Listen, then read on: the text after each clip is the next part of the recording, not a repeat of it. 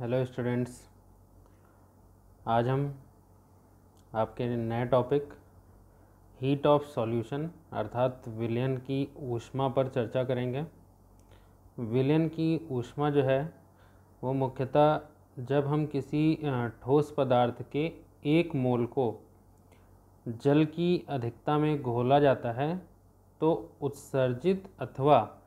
अवशोषित ऊष्मा ठोस पदार्थ की विलयन उष्मा कहलाती है,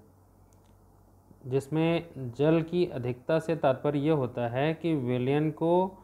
और अधिक डाइल्यूट तनु करने पर ऊष्मा में परिवर्तन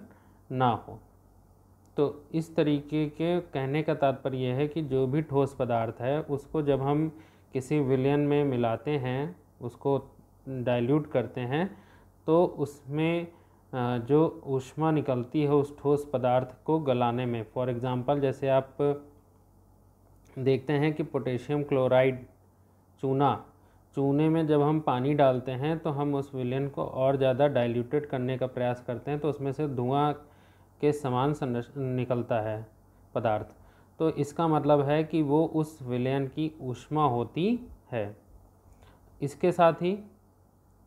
अब हम बात करेंगे उदासीनीकरण ऊष्मा हीट ऑफ़ न्यूट्रलाइजेशन ऐसे तो कई सारी ऊष्माएँ हैं, लेकिन हम जो आपके सिलेबस में है, सिर्फ़ उसी पर चर्चा करेंगे। तो उदासीनीकरण ऊष्मा जो है, उसमें जब हम किसी तनु विलयन में किसी अम्ल के एक ग्राम तुल्यांक को क्षार के एक ग्राम तुल्यांक के द्वारा उदासीन किया जाता है तो ऊष्मा की जो मात्रा उत्सर्जित होती है, वो उदासीनीकरण ऊष्मा कहलाती है। तो इसमें नाम से ही सीधा तात्पर्य है कि उदासीनीकरण का अर्थ ही है कि जिसमें विलयन को, तनु विलयन को डाइल्यूट सॉल्यूशन को हम उदासीन करने का प्रयास करेंगे तो वो जो ऊष्मा उसमें उत्सर्जित होगी, वो ऊष्मा उदासीनीकरण ऊष्मा कहलाएगी। जैसा कि हम चित्र में आपको एक एग्ज़ाम्पल के तहत समझाना चाहूँगा कि फॉर एग्ज़ाम्पल जैसे हमने हाइड्रोक्लोरिक अम्ल लिया, जो कि हमारा एक प्रबल अम्ल है, और एन एक्वस है, जिसको हमने प्रबल क्षार के रूप में लिया है। और जब हम इसकी प्रक्रिया कराते हैं, जैसा कि आप चित्र में इसी एग्ज़ाम्पल को देख रहे हैं तो जब हम इसको करते हैं तो इसमें एन प्लस एस होता है और जो इसकी एनर्जी होती है, उदासनीकरण ऊष्मा, वो इसकी minus thirteen point six eight kilocalorie निकलती है। तो कहने का मतलब यह है कि जो भी एक प्रबल अम्ल और एक प्रबल क्षार के द्वारा ही क्रिया कराई जाती है तभी हमें आ, हम उस तनु विलयन को उदासीन कर सकते हैं।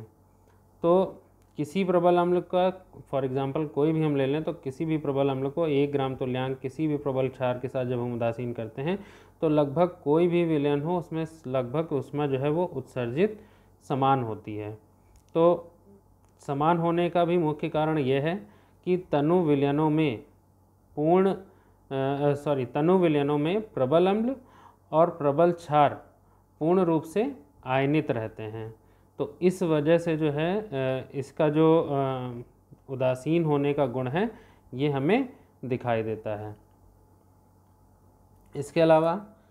छोटा सा एक और टॉपिक है, बंधन ऊर्जा। बंधन ऊर्जा से तात्पर्य यही है कि ये भी नाम से ही सीधा संबंध है कि बंधन ऊर्जा से तात्पर्य है कि जब बंध, बॉन्ड हम बनाते हैं तो उसमें उनकी जो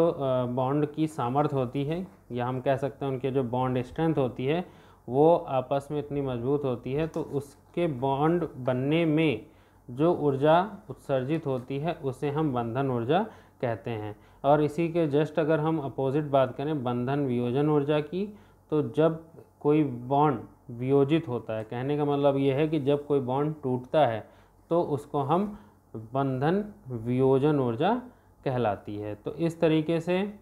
बंधन ऊर्जा क्या है और बंधन वियोजन ऊर्जा क्या है, दोनों पर